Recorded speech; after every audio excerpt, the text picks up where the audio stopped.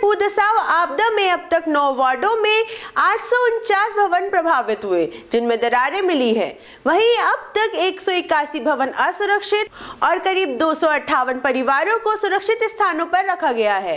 साथ ही जोशीमठ नगर पालिका के मनोहर बाग स्थित भूदसाव आपदा पीड़ित परिवारों के आवासीय भवन वर्तमान समय में हो रहे भूदसाव के कारण असुरक्षित हो गए हैं।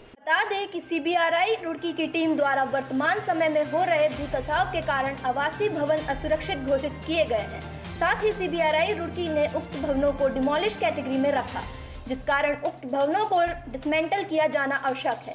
भवन स्वामियों के द्वारा भवनों के ध्वस्तीकरण हेतु अपनी लिखित सहमति प्रदान की गई है। सेक्टर अधिकारी द्वारा उक्त भवन स्वामियों से भवनों के ध्वस्तीकरण हेतु सहमति प्राप्त कर ली गई।